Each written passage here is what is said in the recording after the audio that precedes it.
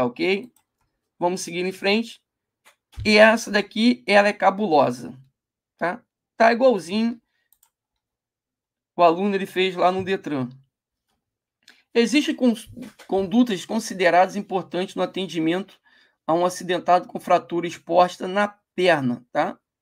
Existem condutas consideradas importantes no atendimento a um acidentado com fratura exposta na perna.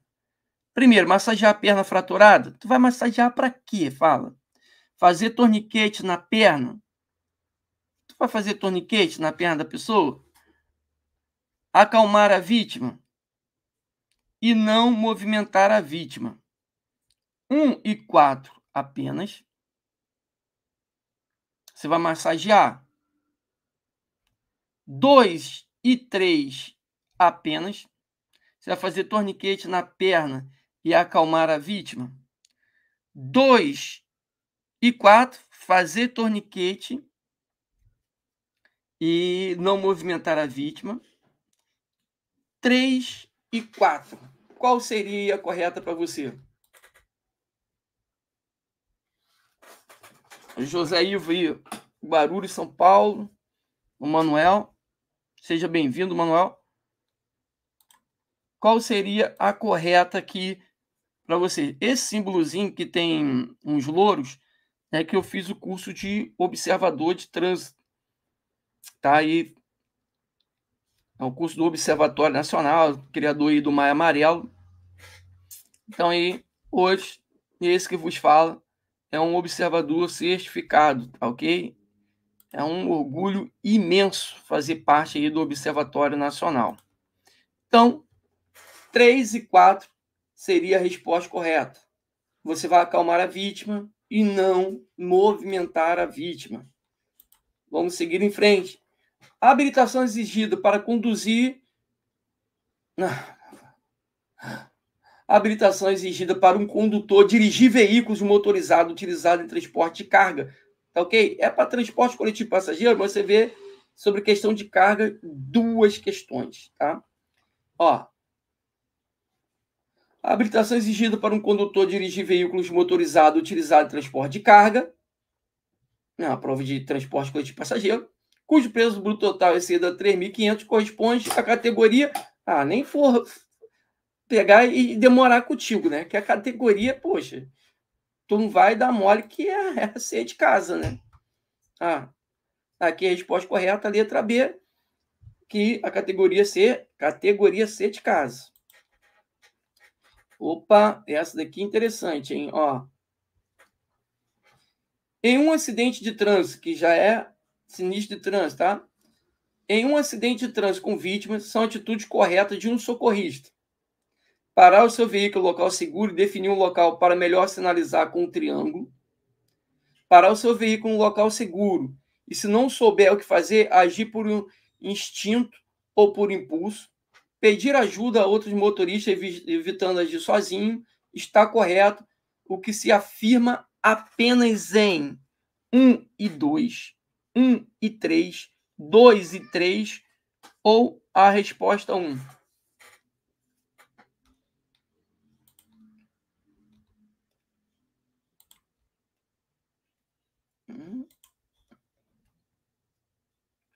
E aí, que, que você acha? Essa daqui é muito interessante.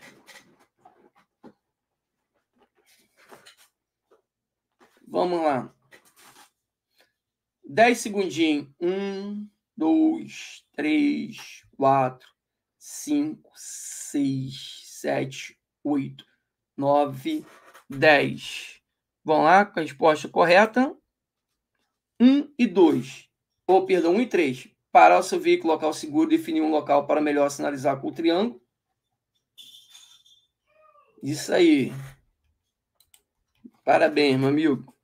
E pedir ajuda a outro motorista, evitando agir sozinho. Correto.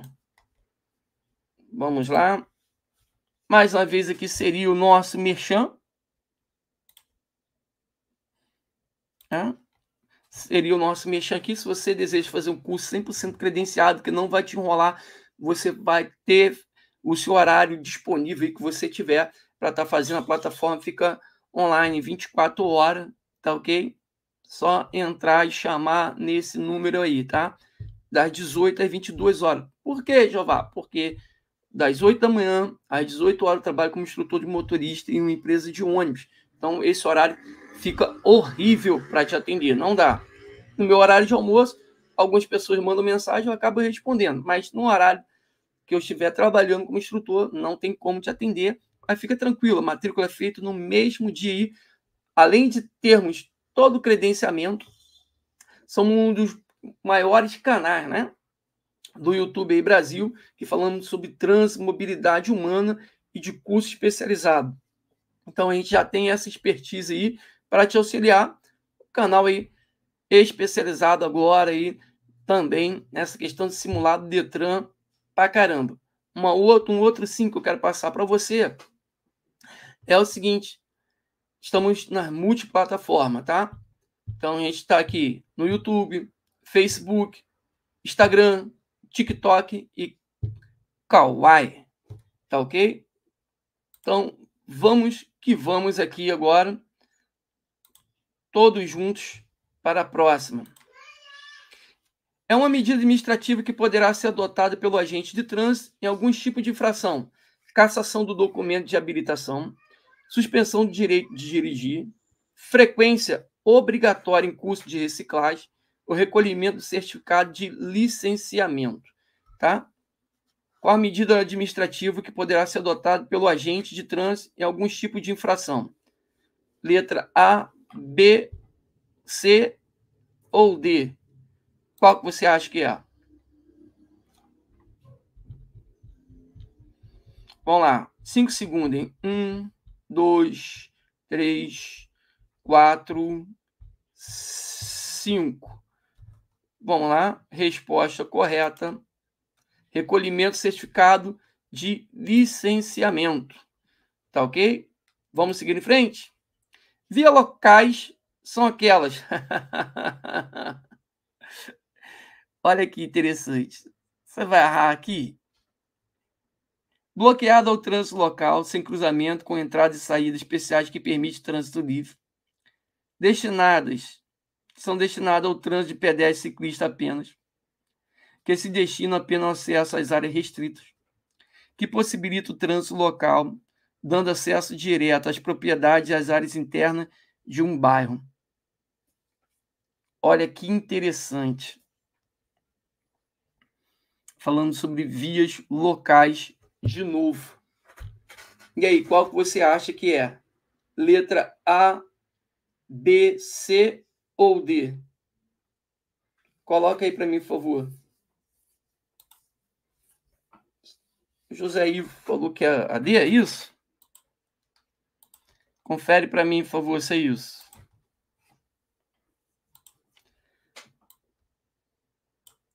É isso mesmo? Deixa eu ver aqui que. Deixa eu pegar.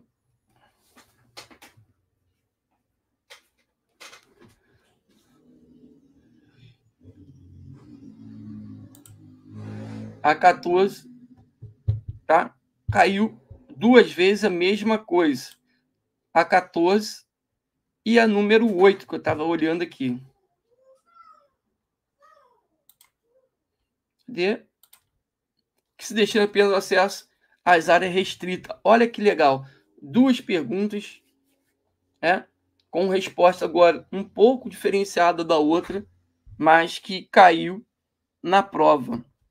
Então, se o José Ivo aí tivesse fazendo essa prova, teria acertado as duas. Um condutor perceber a notificação.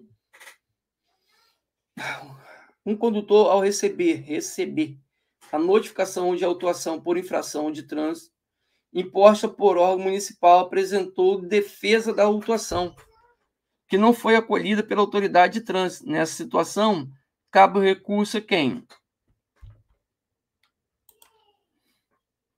Ajaria apenas ao CETRAN, ajaria ao CETRAN, ao órgão autuador e em seguida ao CETRAN. Qual a resposta correta para você? Vamos lá.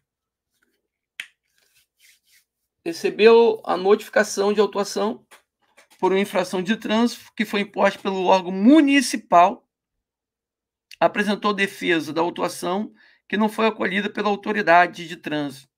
Nessa situação, cabe recurso a quem? Vamos lá. Cinco segundinhos. Um, dois, três, quatro, cinco. A Jari e a Cetran, não é isso? Letra C? Pô, Zé, seria nota 10, filho. Nessa aqui. Se caísse para você. Agora, olha o tamanho dessa pergunta. Tá? Deixar ela em tela cheia. Analise os itens abaixo, adaptados de notícias de jornal. Eu morri de rir com essa. Um grupo de quatro jovens de 19 anos pichou nesta madrugada três muros do mais antigo museu da cidade. Espectadores revoltados conseguiram mais de 5 mil assinaturas em documento de protesto contra a baixa qualidade da programação noturna da emissora de televisão XYZ.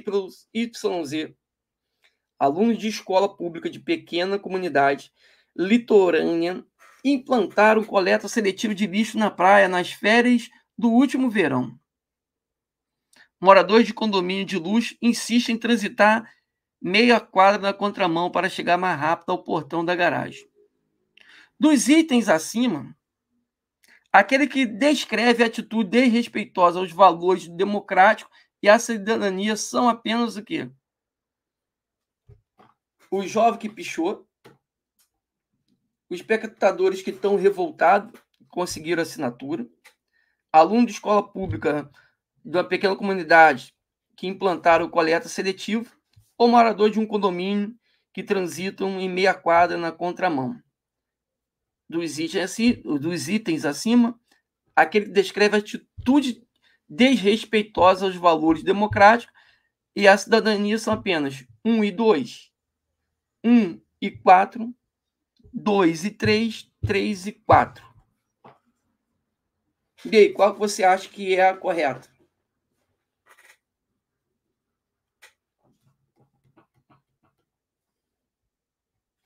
Porque essa pergunta aqui é de um convívio social, tá?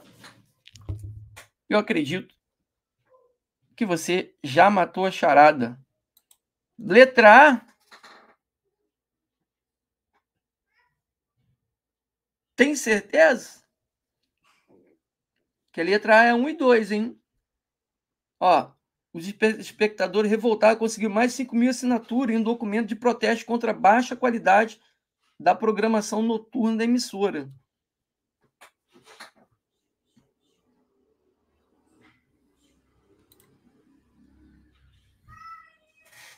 A uma eu digo para você que está certo. e qual é a outra? a 1 e 4, José Ivo. Porque moradores estão transitando em meia quadra na contramão. Tá? E a última aqui, que são só 17 questões essa de hoje.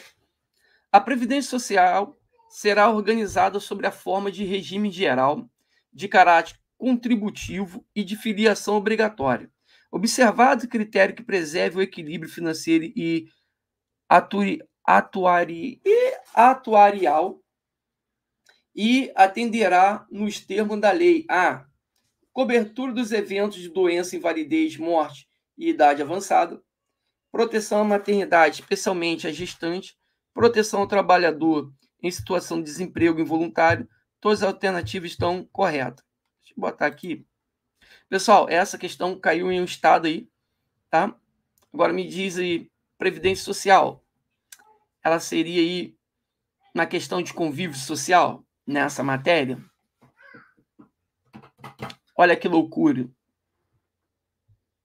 Olha que loucura. Olha que loucura! A Previdência Social será organizada sob a forma de regime geral. Caiu na prova do Detran. Fazer o quê? Teve um outro que me mandou uma questão assim.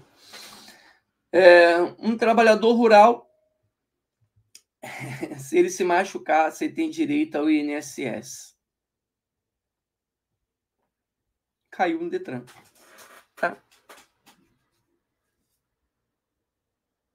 E aí, qual é a resposta correta para você? Todas as alternativas estão corretas. Pessoal, muito obrigado por estar nos acompanhando. Tá ok? Quero agradecer imensamente ao Ivo, Roberto, tá? Antônio, pessoas que estão me mandando é, questões tá, do Detran, as suas provas. Aqui eu não digo qual que eles acertou, acertaram qual que eles erraram. Cada um tem o seu conhecimento, cada um sabe a pressão que é para fazer a prova do Detran, tá ok? Tá? Peço perdão mais uma vez aí, porque o, o sistema aqui deu ruim, e aí não consegui entrar, né? Vou fazer outros testes até agora, quando acabar essa live, tá bom? E eu estou agora com 12 provas de MOP. Vou pegar aí toda quinta-feira direto. A não ser, tá? A quinta-feira que foi mudado o jogo do meu Vascão contra o Atlético. E aí, nesse dia, não vamos ter as quinta-feira, vamos colocar para quarta-feira. Tá ok? Que a gente precisa aí também torcer pro Vascão aí. Que Deus abençoe vocês e até uma próxima. Fui!